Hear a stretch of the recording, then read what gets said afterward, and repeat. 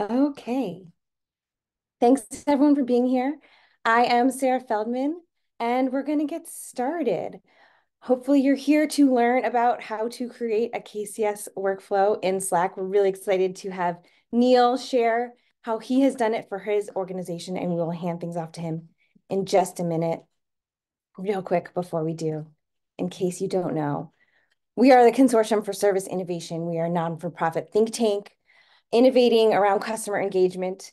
Everything we do is made possible because of our amazing member companies. Their dues uh, are our primary funding to actually continue this work and enable us to do awesome events like this, where we get to invite folks like Neal to come share how they have uh, done enabled KCS in their organization, uh, so more folks can learn. Because you know, knowledge sharing is kind of the name of the game here with KCS. And uh, while you're here, we are recording. We will share the link to this recording out to everyone. We'll actually publish it over on our blog. My Zoom control is in the way. Here we go. I'll just show off our blog real quick. This is where we'll email you a link to because we do a lot of event recordings and recaps posted on our blog. Um, and you can also on our website find more future events. And we have some that we do just for members only. Those tend to be the dark purple images, but lots more things coming up at public events. And we'll share those links in the chat soon for you to register. So hope to see you at another event soon. But before that, let's get started with Neal sharing how he has enabled KCS for his organization in Slack. Hello, everybody. Um, thank you so much for joining us. I really appreciate you uh, coming and checking things out. Um, we just started our KCS journey and a little bit about uh, who we are as a company and a little bit about myself uh, as some context. Uh, I work for the Academy to Innovate HR. It's a professional development platform that focuses on helping HR professionals stay up to date and relevant with current skills so that we can better the world of work through online courses, community events, uh, etc. Um, I joined the company when we were about eight people. Uh, we're now pushing about 100. Um, so very exciting growth path. It's about uh, five years ago that I joined. Um, when I joined, it was solo support. It was uh, quite an exciting journey. So one of the one of the very first ways I uh, started to scale myself a bit was through self service and through documentation. And as we we're growing the team, uh, it came about time for uh, me not to be the owner of that or the sole owner of that per se. Um, and that's why we started to turn towards being able to share knowledge in the flow of work and how we're doing things. And that's why we started to look at KCS. Um, I grew the team from 2022 to where it is now at about three support specialists. Um, and we are starting at a bit more junior level. So when we did start doing uh, KCS back at the end of last year, beginning of this year, um, a big portion of the beginning of our KCS journey is actually that initial documentation training in the first place, because we had nobody who had done documentation besides me. Um, and so we're also training a bit the authoring skill uh, as well as starting the KCS journey and that's why we uh, started doing this KCS workflow a bit um, because one of the reasons normally we wouldn't do approvals uh, in terms of uh, KCS would say knowledge sharing is very important to just to not block and get out there. Um, but for the purpose of training and the purpose of beginning the licensing process, we wanted to do a double check and review in terms of the authoring skill that we're trying to train as well. Um, so that's what I'll show you today. I'm very bad at presenting things, so I thought we could do a little bit more of an interactive walk and talk and just show you how I built it in the first place. Um, and can ask as many questions in the chat. I'll have it open as well uh, and see how exactly uh, can help and uh, and what we're doing. Uh, if you have any questions now, happy to happy to also answer them. But uh, I'll go ahead and share my screen and we can get started with checking it out. Um, I do like the that somebody else is already using the custom emojis to do the different actions. Uh, we are also using that um, in terms of being able to react for now uh, either that the article is good to go or that there's some additional feedback for uh, the actual authoring skill that we're trying to train. Um, starting off in Slack, let, let me know if you can see my screen. I hope it's uh, hope it's clear and you can see. If the if the dark mode is uh, too much, I also uh, can change that if uh, I know that people have different preferences. Um, sorry. Looks good from here. Ah, perfect, perfect. um, in order to do this, uh, you would need automations uh, in Slack Workflow. It's on the, the Pro and above plans, so not on the free Slack plan. So if you have free Slack, unfortunately, you can't do this. Um, just to have that as a call out so that you're aware. Um, what we did and what we wanted to do is we wanted to give an opportunity for our reps to share their knowledge to the rest of the team. Uh, the reason why we want to do that in Slack is because our current tech stack, which is Help Scout, which we're using for our shared inboxes and our documentation, uh, is not built for a review process or any sort of draft and, and publishing uh, process. It is, I draft an article, it's unpublished, and I publish it. So we wanted to add in some review process there in between uh, as a step.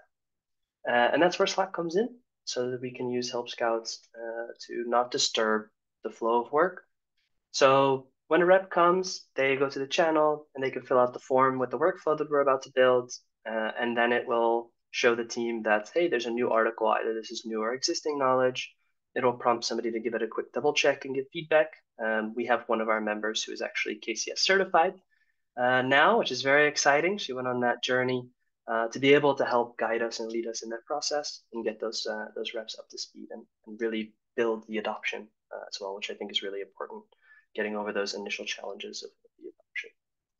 Um, so let's uh, let's start building, shall we? Um, in Slack, if you go to the workflow builder, it will pull up the option for you to be able to create uh, new or existing workflows. Um, in terms of creating a new one, we'll just go ahead and start it from scratch. I'll just call it KCS submission. And if my typing is really bad, so don't don't mind me. I always have to like double check all of my own. Typos don't uh, count when you screen share. of course, it's all eyes on, you know. So, mm-hmm. uh, what we did in order to set this up is we did. Uh, you can choose a bunch of different ways that you want to start the workflow: a, a shortcut, a new new channel, uh, an emoji reaction. Uh, for our case, we did a shortcut and we want this to go into a specific channel where all of these articles would be uh, pumped into, where people would actually be having this, this action oriented. We wanted to keep it out of our main comms channel and make a dedicated space for it. Um, I'll just call this article submission. And we'll go ahead and create that.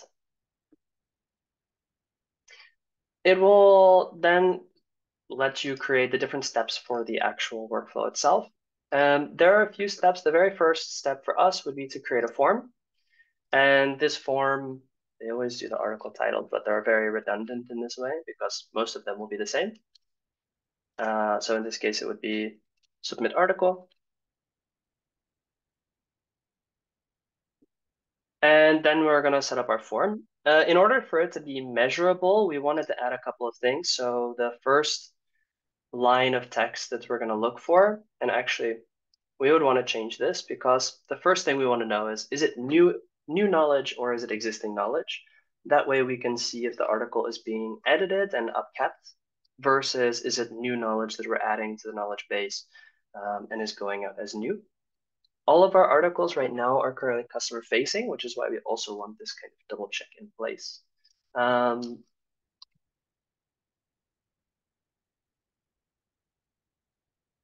I'll just put this uh, quick. I'll just put new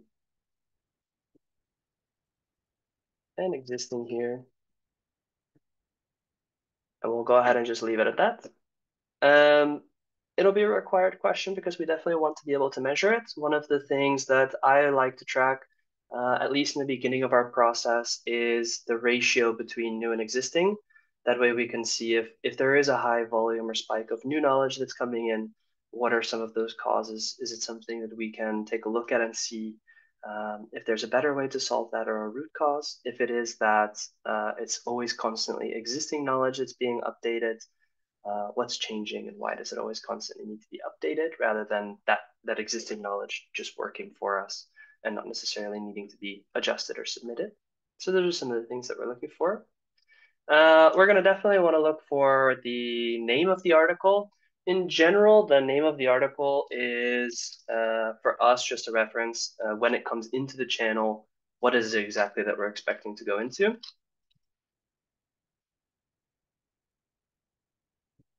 And this is just a single line of text. And the last one that we're just going to look for here is uh, what is the link.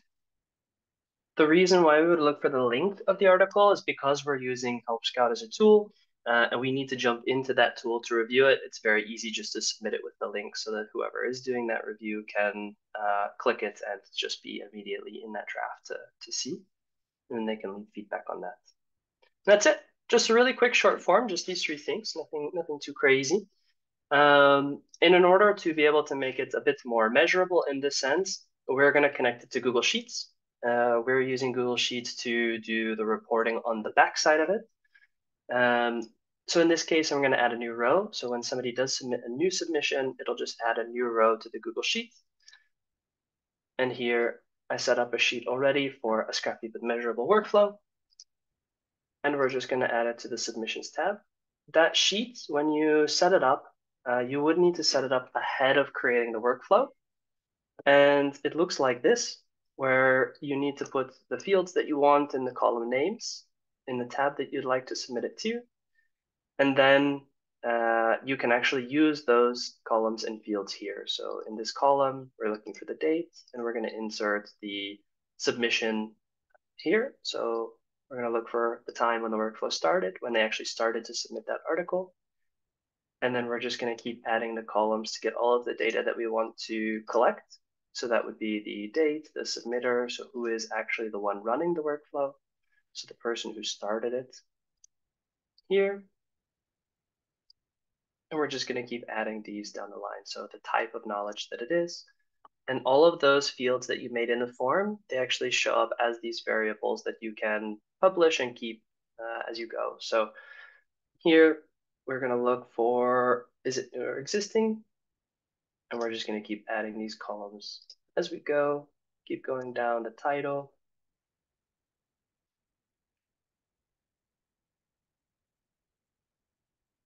And the last one here, the link. And then the one other thing that we're actually looking for, I think I have all of them here. This is perfect. We'll go ahead and save. And then we take the form, person submits the article and they go through, they submit the information so that it can be reviewed, at least for the training purposes at the beginning. We add it to the Google Sheet so that we can collect the data of new knowledge, who's submitting all of these articles, especially in the beginning. We want to see if we can find a champion who is doing a lot of documentation and a lot of writing uh, and celebrate that. Uh, of course, I think there's a big difference of measuring activity metrics versus more the outcome oriented metrics. Uh, me and Sarah talked quite a lot about that in in, in our conversations before. Um, it's not very good to measure measure success by just the activity, but really the outcomes there. Um, but at least for the beginning, we want to see adoption. Um, and for the adoption purposes, we are looking a little bit more at the who's doing what in that sense. Um, so once we've collected this data in the Google Sheet, uh, we're actually going to add it here to uh, the channel. So we're going to take what's in the form, we're going to take what's in the Google Sheet, and we're going to send it to the channel to let people know. Um, we're going to send this message to our KCS workflow channel, and you can insert all the variables that you want in this. So we're going to say uh, who submitted the article, who clicked the button, uh, has a, yeah, let's just say a new article. And then we're going to put the uh, type, which is like the new knowledge or existing knowledge. And you can pull everything that you had in the form there as well. So is it new or existing? Uh, we can put the title the same way we did with the forms. So you can insert any of these variables that you'd like.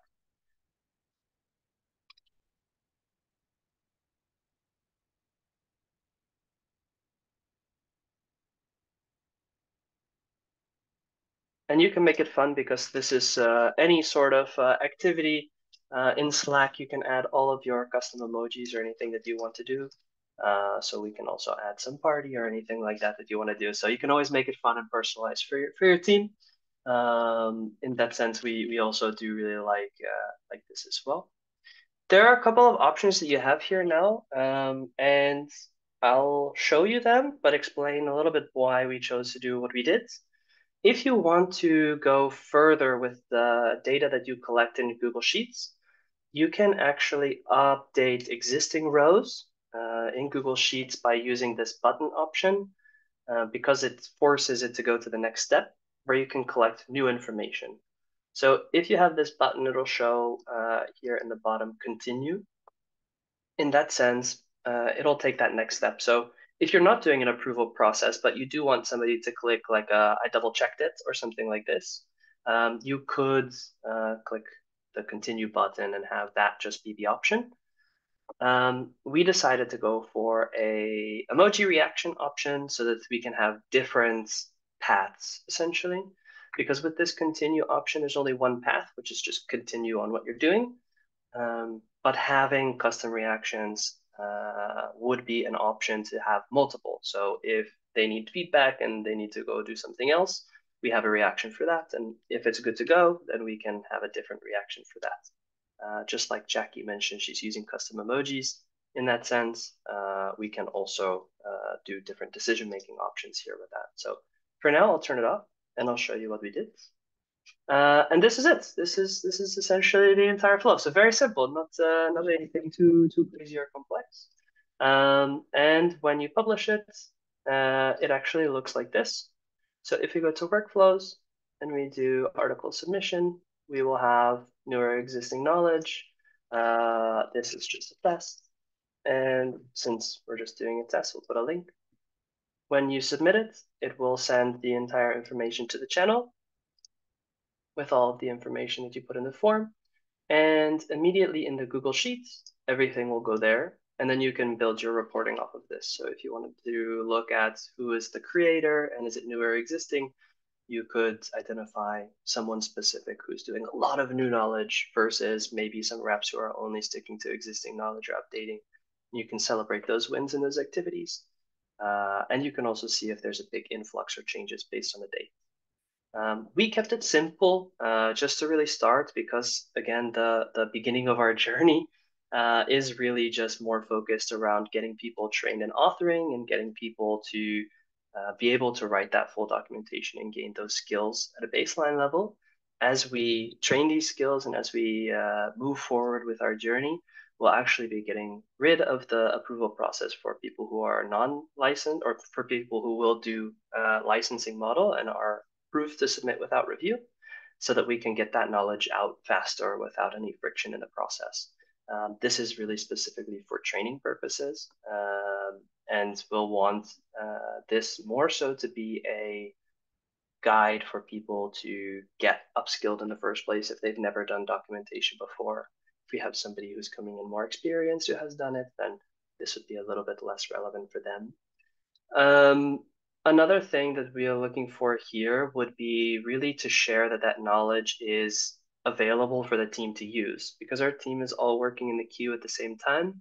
Um, it's important that yes, while you can search docs, uh, some of those drafts don't come up in search. So if one of those uh, team members is already working on a draft or already working on a specific piece of knowledge, we would hate for that knowledge to be doubled up uh, by two reps writing a new article for the same topic at the same time.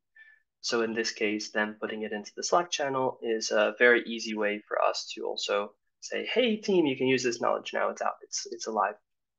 Um, so this is one of the ways that we started the initial core one.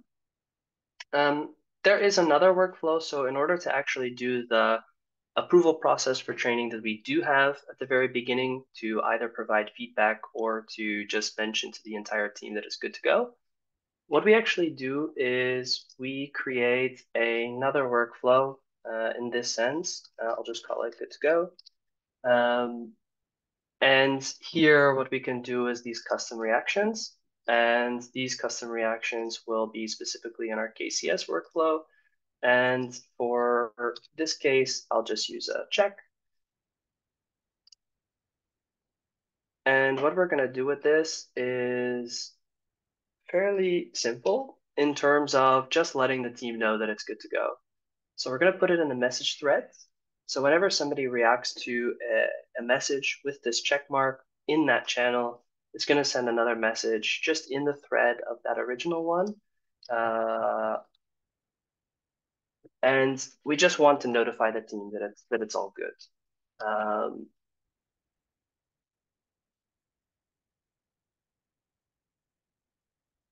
and then we can let the let the entire team know that uh, that it is good and ready to go.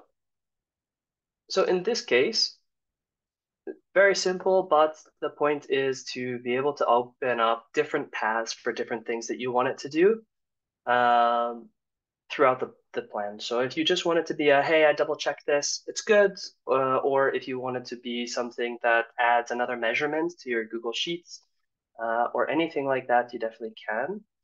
Um, so in this case, if I now just hit check, then it will send a message to the channel uh, and let us know, hey, this article is good to go. If you want it to be anything else, um, like what we have set up uh, already now is a feedback flow. So if there is feedback that's needed uh, for the team for training purposes, uh, we actually do it like this where we do a custom reaction. And in this case, it's going to be the same, same exact channel. And for this one, for example, uh, we'll just use this, uh, this space here. Just picking quickly. You can make it fun. Again, uh, we, we set up some custom reactions uh, that have some very fun imaging, uh, try to make it engaging and, uh, and exciting for everybody who's using it. I think those small things make it bit more engaging and fun. So um, in this sense, we're going to add another thread. Uh, and what we're going to do is we're going to say, uh, here, there's feedback coming for this. There's some feedback. And then uh, the way that we have it set up is we also notify who's going to provide that feedback. Um, so what you can do is you can also insert variables here. And what we're gonna do is we're gonna put the person who reacted um, will provide that feedback. So whoever left the actual reaction will provide feedback on that. Just so that they will know who to actually mention and who to go. So of course, I'm the only one uh, in the Slack channel, so it'll always be me providing myself with feedback, which I don't think is very helpful. Reflection is always good, but you never know. Um, Give yourself a high five. Sweet, let's go. um, in this sense, uh, if I react with uh, with this one here, it will also say, "Hey, there's some feedback," and, and Neal will provide that feedback, and then uh, we actually have it now where we'll go through and we'll leave feedback on the actual article, um, and then they can resubmit um, and what you can do here, for example, is you can include a button, and that button could, for example, be uh, resubmit uh, here. And then that would be up to the person who's going to be uh, resubmitting that article uh, to go through and uh, actually uh, publish it again rather than needing to make an entire new thing, for example, as well. So then here, there's that button that person can go ahead and move it to the next stage so that they can just continue down the same flow without having to do all of those st steps again.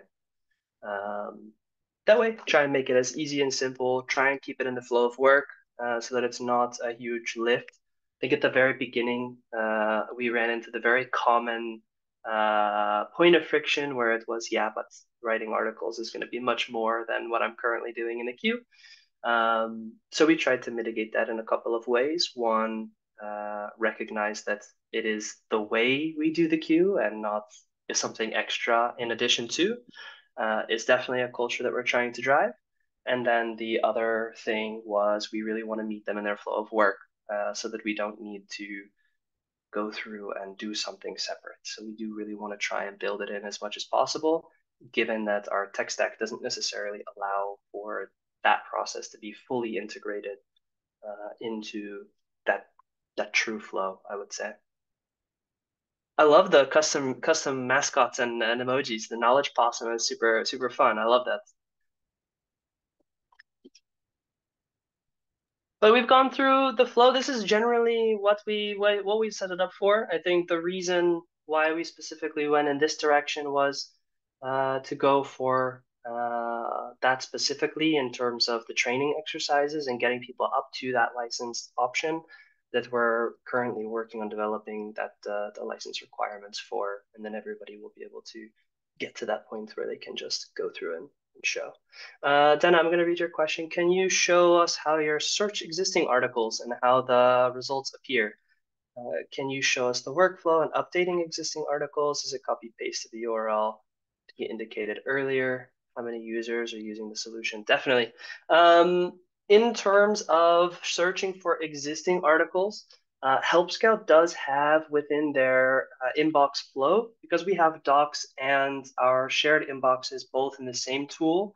For existing articles, team members can actually just use a slash command. So if they were in Help Scout here, for example, they would just put slash uh, doc and then be able to search for a doc in their actual flow of work. Um, so in that case, that part is integrated into the exact same uh, flow and system, which is great. Um, that way they can use existing knowledge quite easily and be able to search that. Uh, in terms of updating it, everybody has access to update and edit docs uh, in that flow as well. So luckily enough, with Help Scout, docs and our shared inbox is all together, and that part is integrated for existing knowledge uh, there. But for existing knowledge, they would only submit it in this workflow if they've adjusted it. Um, so when they do actually edit and upkeep that knowledge, uh, that's where we actually want them to go through and submit it just so that everybody is aware of the changes. Because if somebody is very used to using the same article or something, of course it should be up to date, but in case a different rep changes something, we do want that team to be aware uh, of that.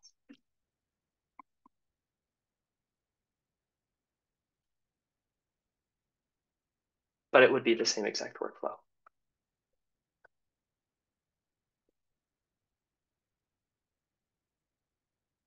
There are a lot of complex things that you can do with Slack and Slack automations as well. Um, you don't just need to use Google Sheets if you're using Airtable or using any other kind of tool like that. They do integrate and have a, a large library of applications. Also, for example, Notion or, or any of these tools that you might already use.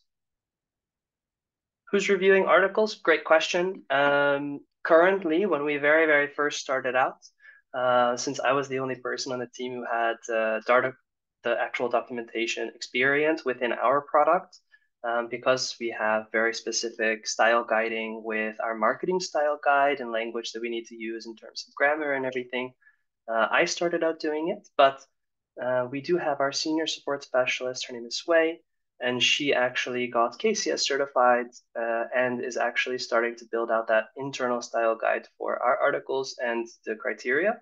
So she's actually taking that on as well. We started co-reviewing uh, at the very beginning just to go through the training of how she should be providing feedback on articles and things like this, just to really build the muscle. But currently, she actually is doing that all herself and taking ownership of that. So that's great. That would be our senior support specialist. Um, and thank you, Sarah, for sharing that uh, training because it's great. I think uh, it definitely brought a, a, different different perspective and level uh, from just trying to figure it out from the from the articles and, and the information it's provided.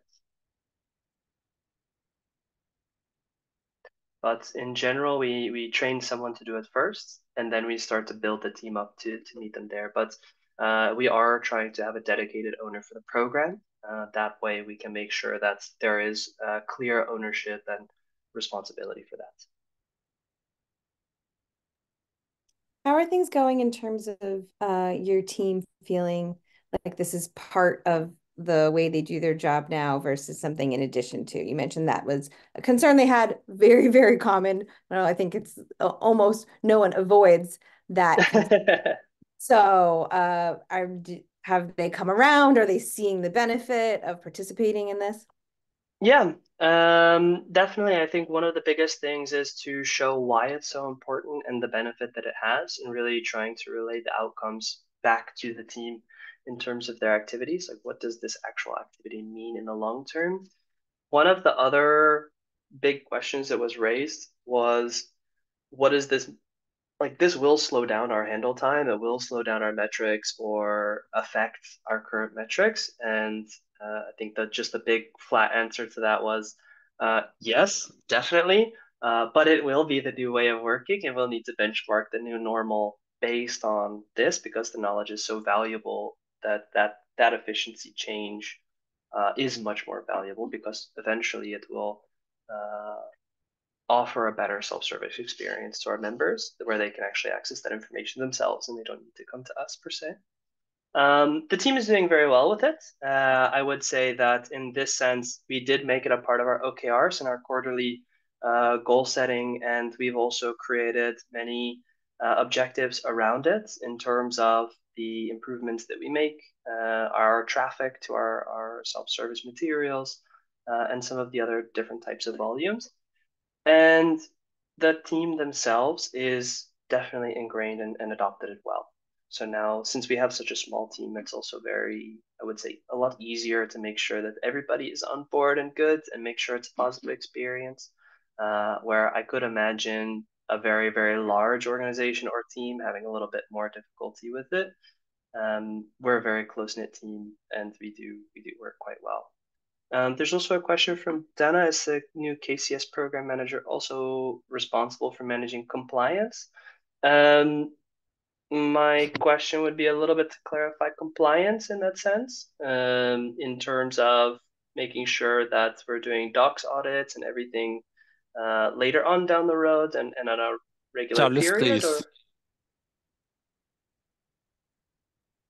I'm sorry? That might have been a mic slip from someone. Ah, okay, okay. No worries, no worries. Um, but yeah, I, I would just say maybe what the question is around compliance, if it's specific about the information that's included in docs, because um, I would say that our new program manager is indeed responsible for making sure that all of our information is uh, standardized, is good, and is up to uh, the requirements that it needs to have. So if that's what you mean by compliance, then definitely.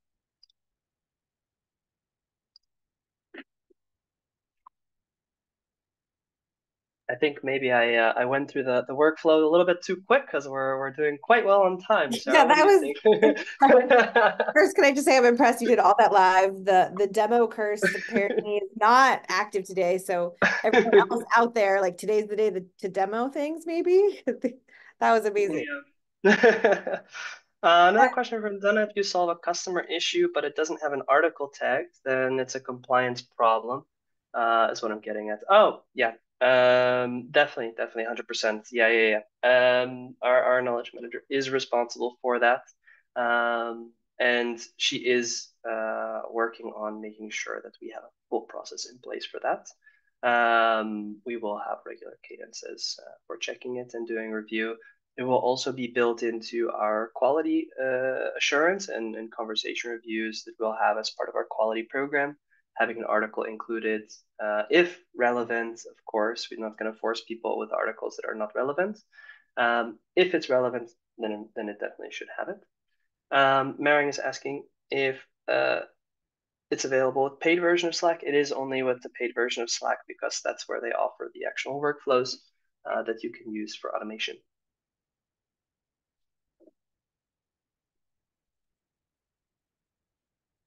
How has your leadership uh, been involved as you guys have ramped up? I understand that you started kind of in a scrappy way because you wanted to sort of prove the value of this first. You didn't necessarily have a lot of additional yep. budget. Um, so how how are they seeing this so far? Yeah, so so we're still in the in the no tools uh, phase, I would say.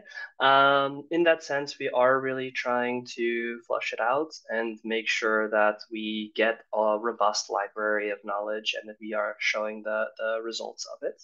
So since this is the first quarter that it's in full swing, uh, we just started uh, the rest of our first initial skills trainings uh, in Q1 and then now we're starting to move more into the uh, full swing, I would say, what it is. So we're still about in the same place. Um, there's two aspects of what we're doing. One, I would say, is the full KCS in the flow of work.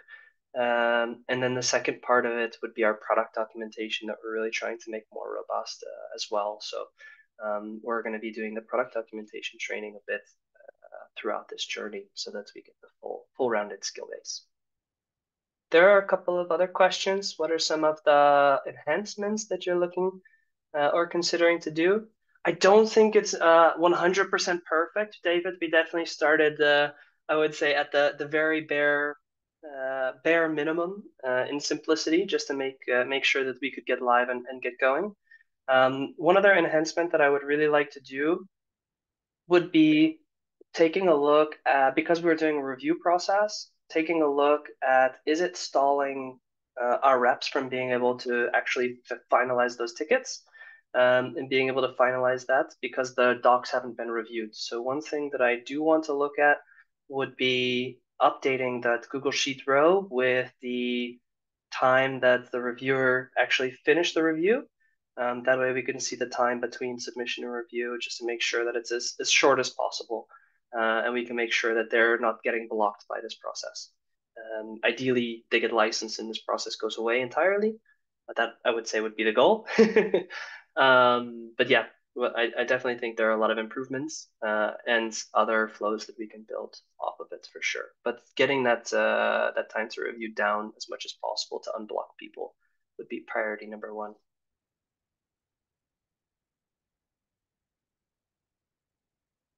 Oh, definitely, definitely, Lynn. Go go to sleep. it's 1.30 a.m. for sure. Uh, but definitely but yeah, those, those would be the, the simplest workflows. I think one other interesting thing uh, would be that because we're doing just customer facing knowledge now, um, we will also start focusing on internal knowledge.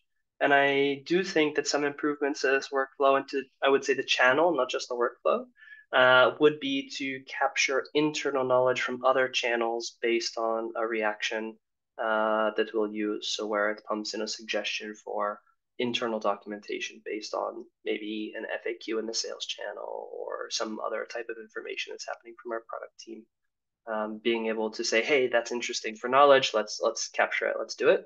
Um, that's definitely something that I would say is a nice uh, enhancement or improvement to this as well. So that we're not just, "Hey, here's customer-facing knowledge in," but also internal knowledge uh, that we're collecting to build as well.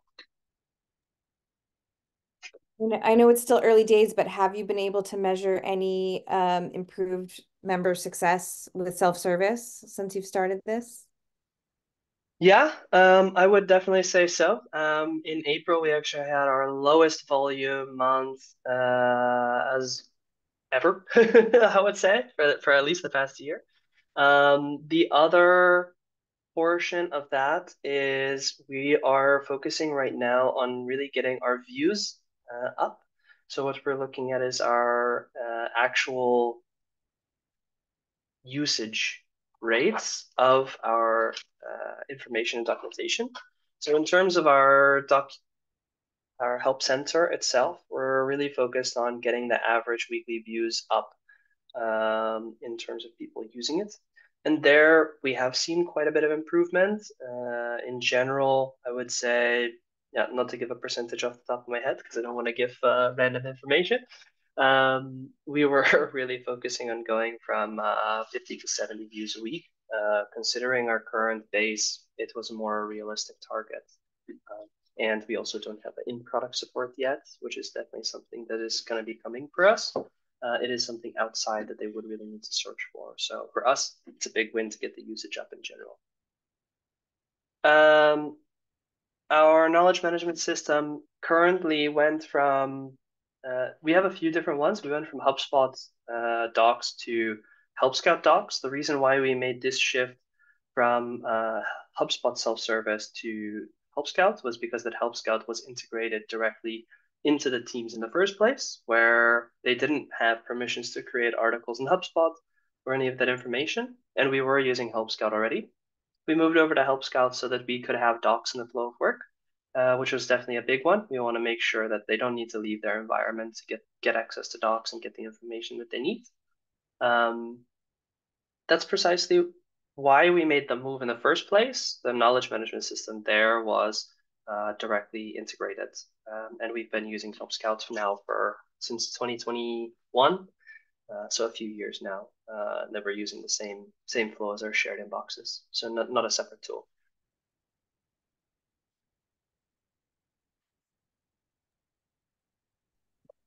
I noticed that you guys, you you've mentioned publicly that you guys are hiring. Are you hiring on onto your support team? Yep, we're hiring uh, directly onto our support team. We have a customer support team lead uh, and a specialist uh, that are going to be open, and uh, we're excited to grow the team and continue the journey. Nice. And so, with that, have you altered the job descriptions or the the type of folks that you're looking to hire now that you're uh, practicing KCS? Is it changing your outlook of what you're looking for? Uh, I would say that somebody familiar with knowledge work uh, is definitely a huge, huge win for our team leads. Um, however, we are giving that responsibility still to our senior rep Wei, so they don't necessarily need it because Wei is the owner. Um, but it is definitely something that we're looking for in terms of being able to leverage knowledge um, and resources in that aspect uh, too. But I can't say that it's been a direct uh, driver from KCS. Uh, but being able to have our self-service solutions and uh, strategy in place is definitely possible for team leads. Uh, for a specialist, we have the training method in place, so we're excited uh, for anybody who's looking to join. Nice. And have you started to think ahead about how you might evolve your team as you mature through KCS? Uh, do you already have some folks interested in uh, KDA work, or is that something you're gonna wait and see? Give it a give it a few we'll we'll give it a bit, we'll give it a bit there. I think um, documentation itself, uh, I personally love, but uh, and I nerd out about a lot. But I don't mm-hmm. think that everybody has that same passion per se on the existing team. I, I hope that we can find somebody who does love documentation uh, as much as all of us.